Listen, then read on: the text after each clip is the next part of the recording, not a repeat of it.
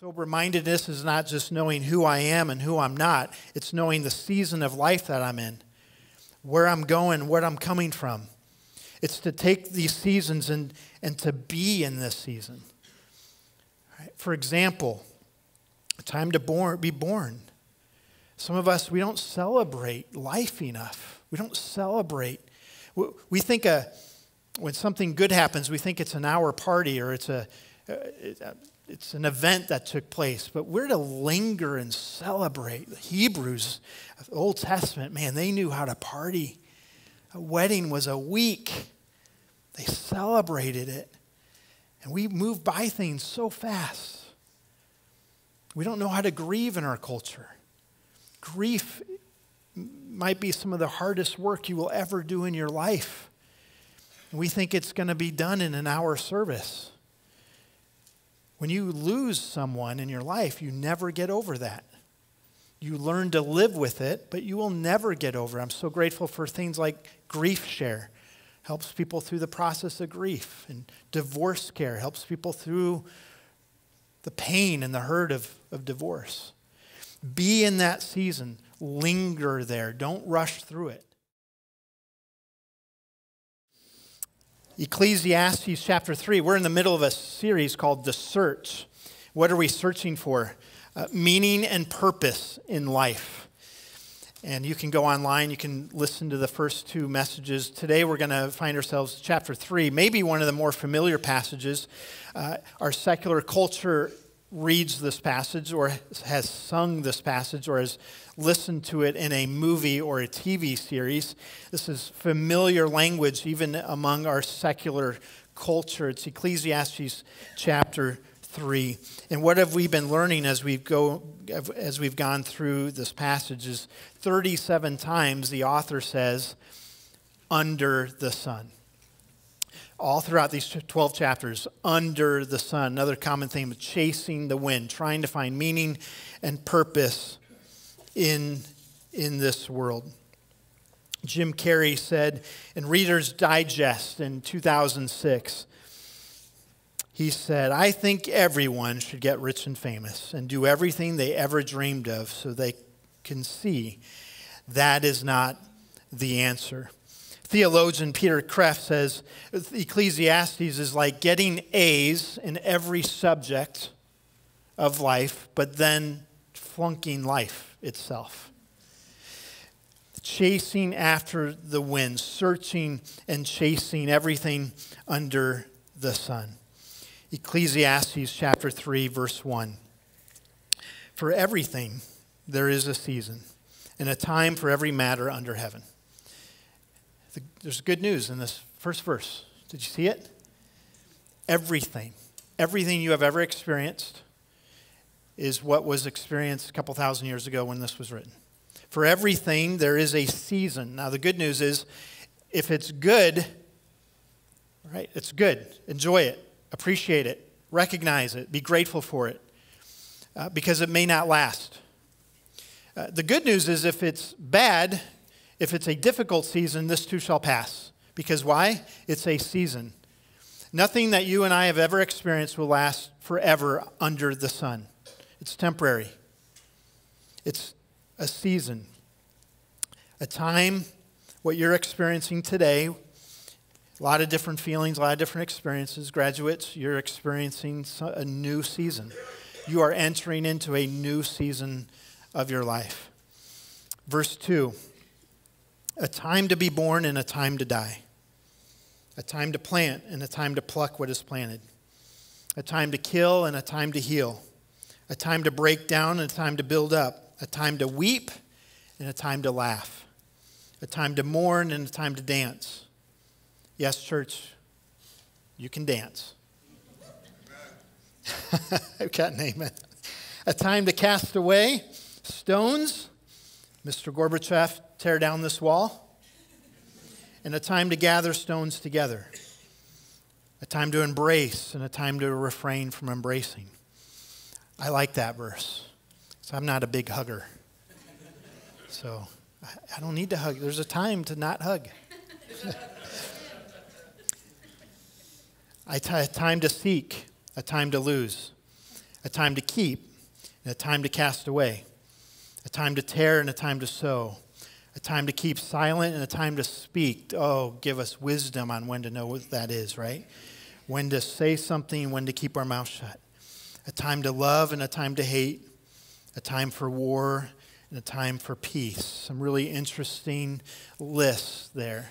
A time to kill is not the word found in Exodus 20 of murder. It's a time to defend and protect and go to war. There is a time for that.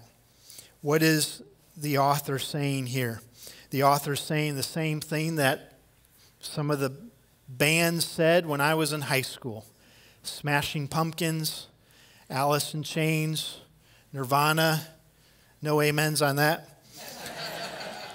but they said things like they do us a favor when they admit in their lyrics that all of life is meaningless without God under the sun. It's a joke. It's a sick, bad joke told by an idiot full of sound and fury, signifying nothing. A time. What time, in an email that went out to the church this week, I asked you if you, if you had a few moments to read chapter 3 and to ask yourself, what season are you in? What time do you find yourself in? There are seasons that come upon us that we did not ask for, and then there are seasons that we've entered into just based on the natural rhythm of life or based on decisions that we've made, based on our parenting, maybe based on marriage or divorce. There's different seasons that, that come and go. There's two types of time that's referenced in Scripture. It's important to note what the author is talking about here. The first type of time in Scripture is chronological time. That's the time that we, you and I talk about. It's our seconds, minutes, hours, days, weeks, months, years, decades, centuries. That's the chronological time. That's what you're thinking about what you're going to do this afternoon. Many of you are thinking about that right now as I'm talking, right? What, what you're going to do at 2 o'clock and 3 o'clock, what you're going to do tonight, what you're going to do on Monday morning. That's chronological time. And what we would say on chronological time is hey, be in this moment. Be in the moment that your feet are in, right?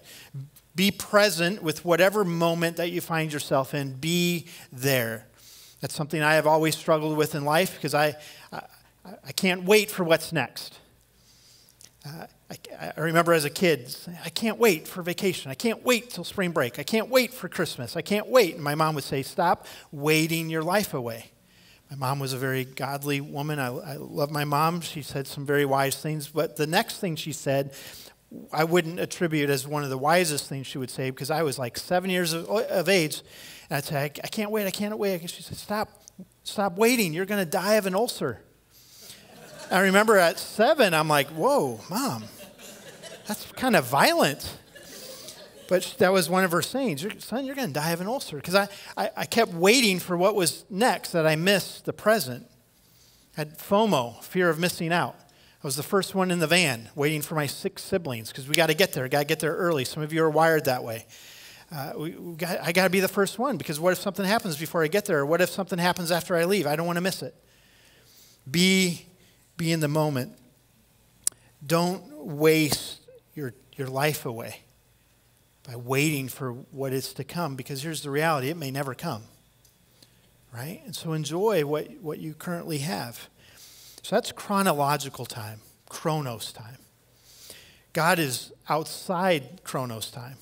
God is not bound by chronological time. You and I, we're bound by chronological time. Bible says 70, 80 years, plus or minus. That's our time. That's what we have. It's very itty bitty compared to our everlasting eternal God. The next type of time that this author is speaking of, and Jesus speaks of throughout the gospel, is kairos time. Kairos time are significant moments. We use this when we say back in the day, right? We're not talking about a specific time. Back in the day. I, I, look forward to one day. We don't know when that day is, but I look forward to one day. It's a kairos moment. It's the moment Jesus says when they come to arrest him, the time, the kairos has come. Kairos moments require decisions, they require action, they're significant. I remember sitting down with someone at a previous church environment. I'm like, hey, tell me, tell me how God has moved in your life here recently. And they started by saying, Well, I came to know Jesus in 1980. And they talked about coming to know Jesus in 1980. And then the conversation ended. I said, Well, what's happened the last 30 years? Right? Following Jesus, as a, as a follower of Jesus, requires movement, requires action, plans. Jesus is on the move, and we're to be following him. And if any of us in the room, you know, the first challenge here is is, is there status quo for any one of us? Because God's calling us. No, there's, there's a time. There, there, there's significant moments. There's decisions that need to be made.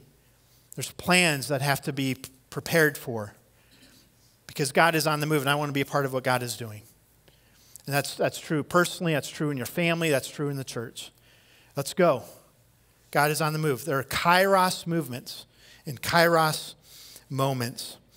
What are we to look to in Scripture to learn how to determine the season that we're in?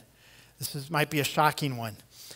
The author of Proverbs says, Look to ants. Really?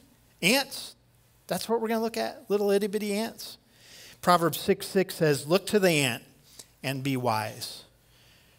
Sometimes just looking at creation and the creatures that God has made, t- teaches us some things.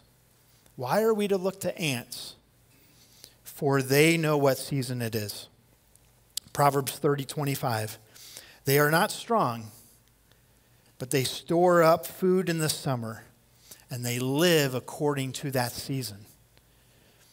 Followers of Jesus, do you know what season that you are in currently? We just listed, the author listed a number of them. There's positives and there's negatives. But there's actually, throughout Ecclesiastes chapter 3, there's three lists positives and negatives. And what's the third one? Ultimate. Ultimate. Well, is that positive? Is it negative? It's whatever you choose to do for the honor and the glory of God as you enjoy Him and Him forever. You could grieve you, you could be in a time of planting, you could be a time of pulling it up. Whatever you, season you're in, it's not necessarily positive or negative. That's how under the sun it would be described.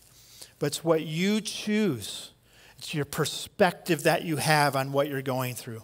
That this is for the honor and the glory of God. What I'm going through, although I may not have chosen this season of life that I am in, I'm not going to simply look to this earth. I'm going to do it for, for the glory of God.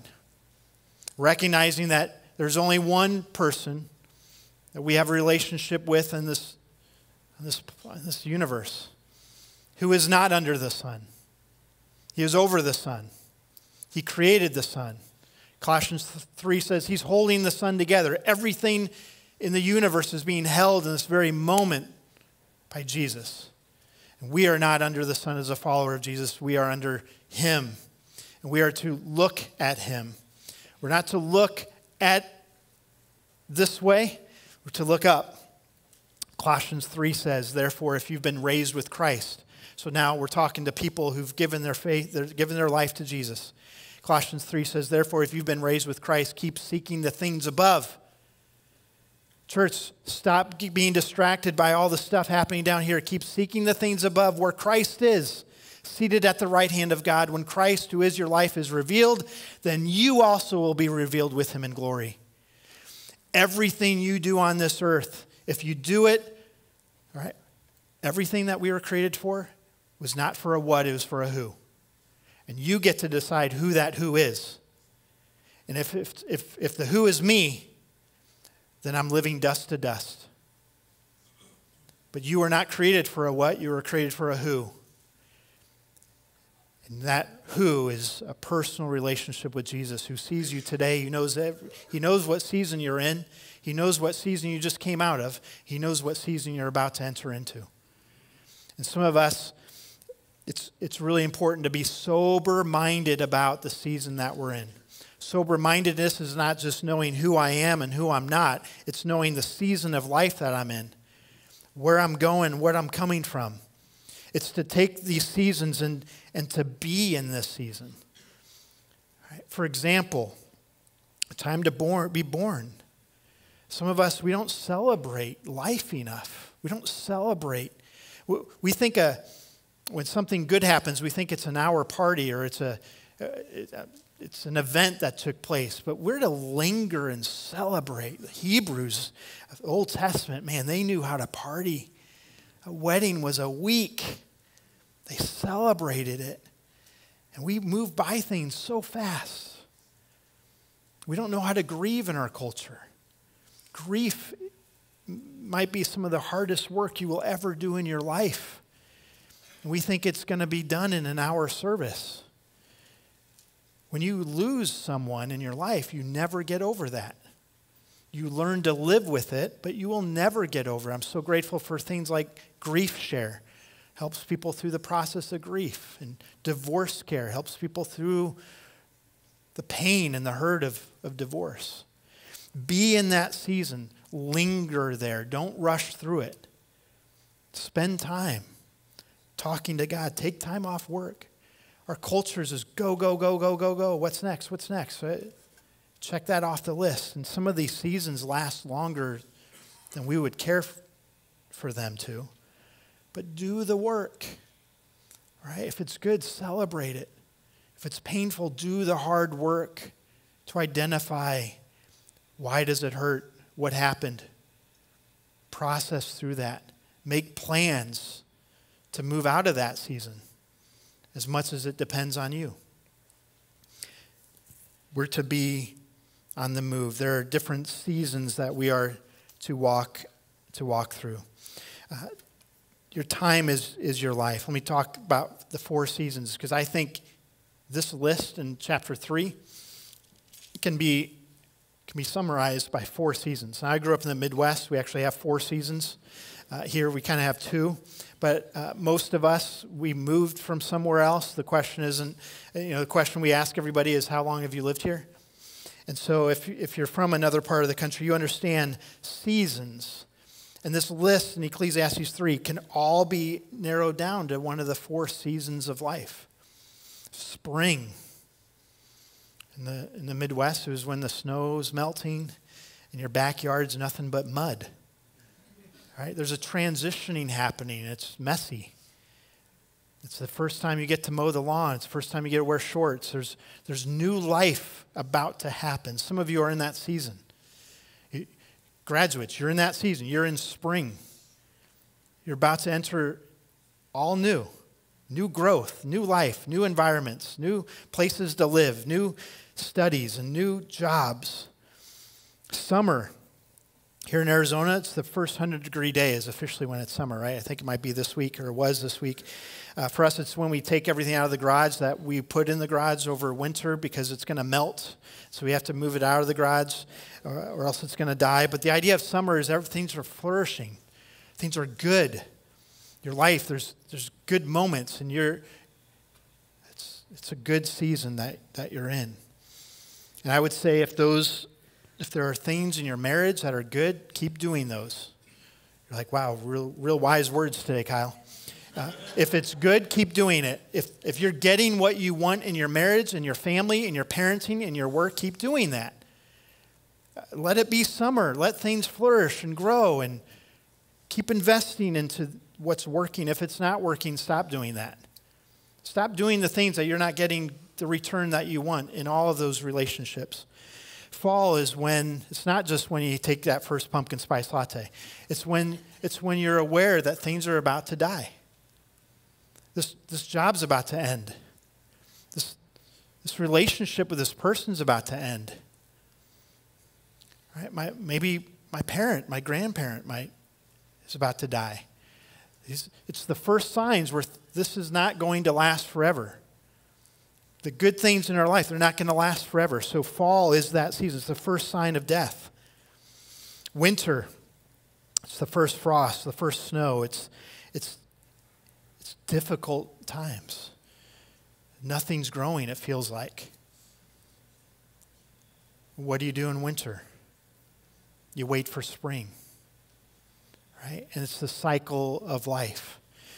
And some of us, we're, we're in seasons. We might be entering into retirement. We might be selling a business. We might be starting a business. These are different seasons that we're in. It's good to know what season are you in.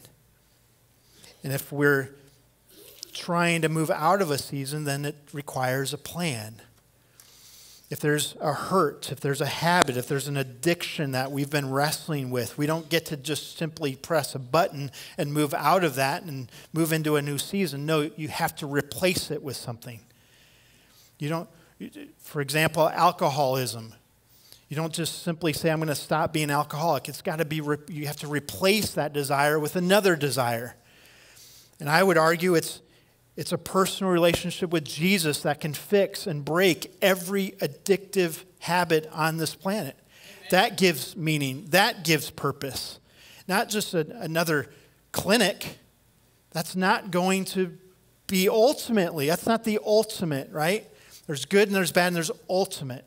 You and I were designed to be plugged in to a relationship with Jesus. Recently, I was going through a drawer. Maybe we all have one of these drawers in our house. This is the drawer I pulled open recently, and I, I didn't bring the entire bin. It's a really big bin full of cords and cables. Does anybody else have a drawer like that? It's like, I don't know what this is for. I don't know when we got it. Well, this goes to something, and so I'm going to keep it because someday I might need that computer from 2002 and as soon as I throw it away, I'm going to need it. You might be like, you know, you're keeping that screw because you know that screw goes to something really important, but you don't know what it is. Every one of these cables had a purpose, but you have to understand the context. You were created for a purpose and with a purpose by a, pur- by a purpose given God.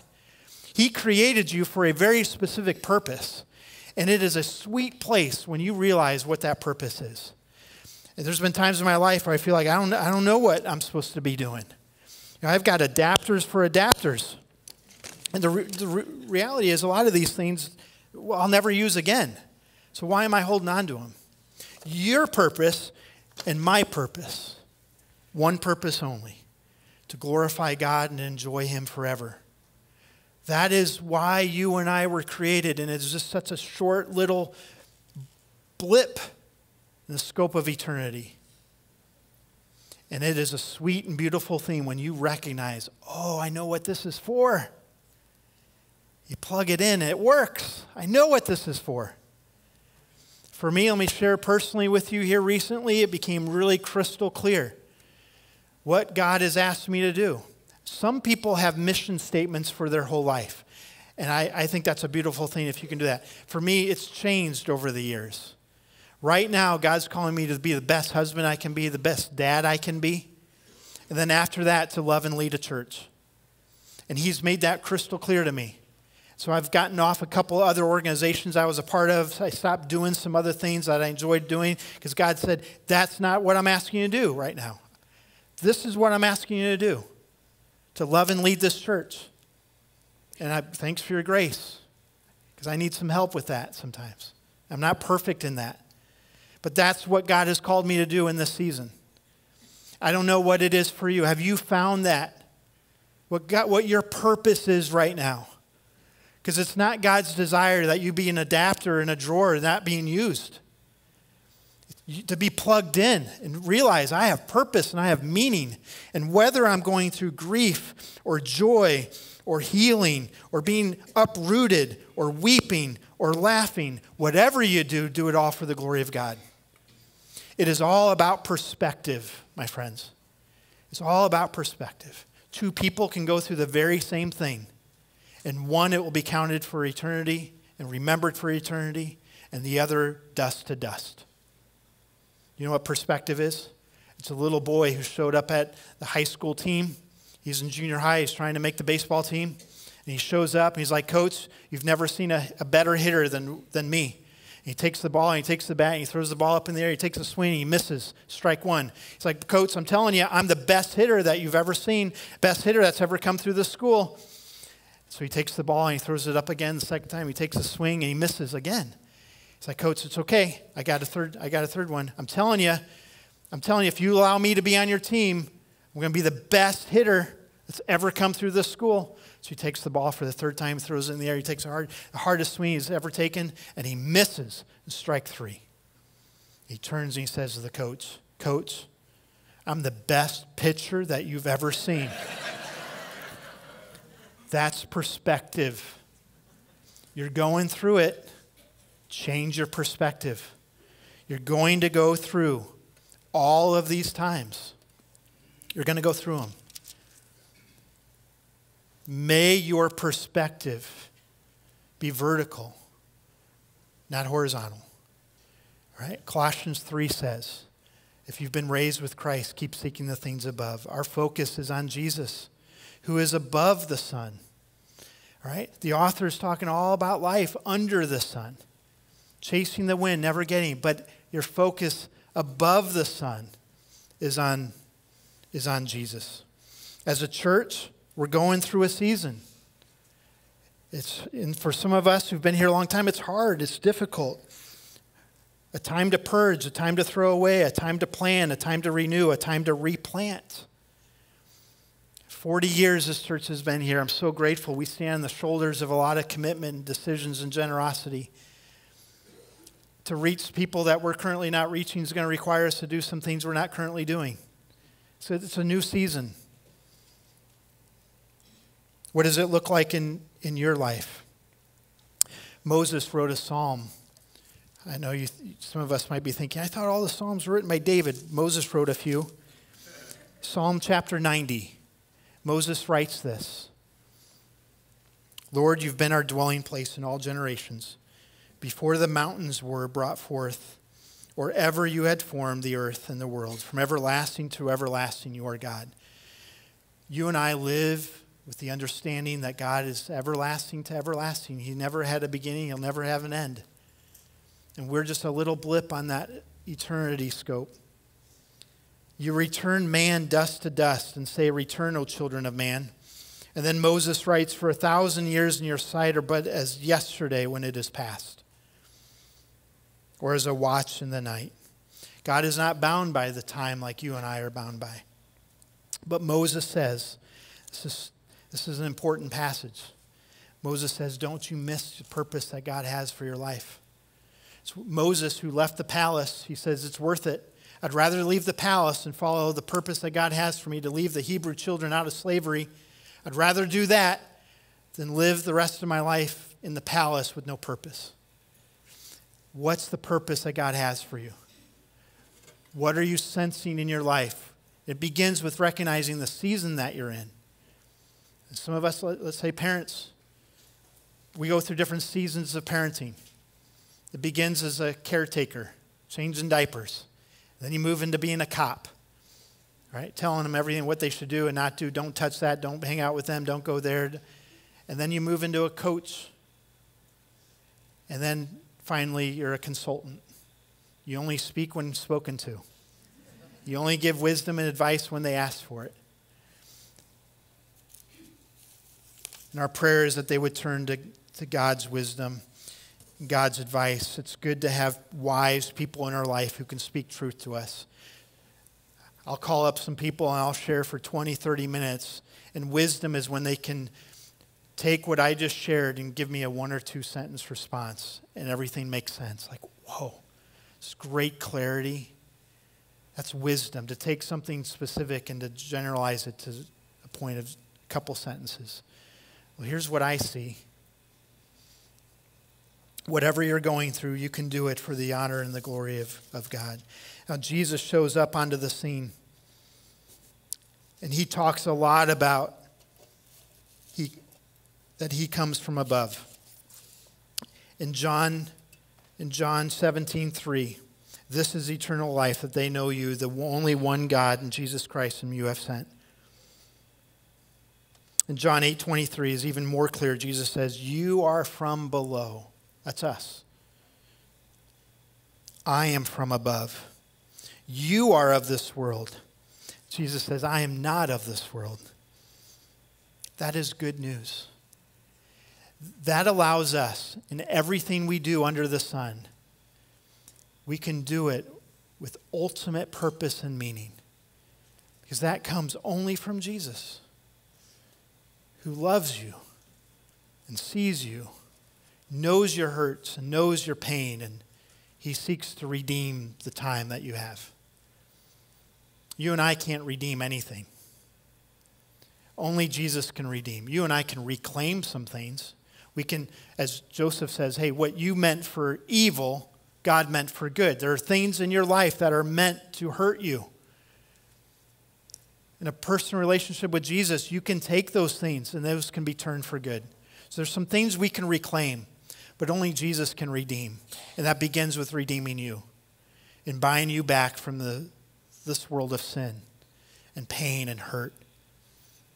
And requires us and asks us, he asks us to surrender and to say, I, I admit I've been chasing everything under the sun. I've been, I've been searching and chasing after the wind, and I haven't found it. And I'm done chasing. I want meaning and purpose in my life. I want the ultimate. And you surrender and you, you recognize that everything from this day forward has meaning and purpose. If there's anything I said today that you feel like I, I want to talk more, I, I need a plan because I've been stuck in this season. I, I need a plan to move out of this season. I would love to have that conversation with you. We have leaders of different ministries that would love to come alongside you and sit and talk. A week from Friday, as I mentioned earlier, we, called Life's Healing Choices. It's eight weeks. It might be the first step to getting out of maybe some harmful hurts and habits that, that you've developed over your life. We, we all have them. We all have them. Would you join me in prayer? Father, I thank you for uh, this word. And as we continue to read in Ecclesiastes 3, that you make everything beautiful in your time. Everything is made beautiful. Thank you, God, that you have set eternity in our hearts. That this is not the end. That you've, you've given us purpose in me. I pray that nobody here in this room would miss that. That we would all recognize and understand that our purpose in me only comes from you and you alone. God, thank you for loving each person. Thank you that you pursue us. As we're chasing after other things, you're chasing after us. I ask this in Jesus' name. Amen. I want to take a moment to say thank you for joining us for today's service online.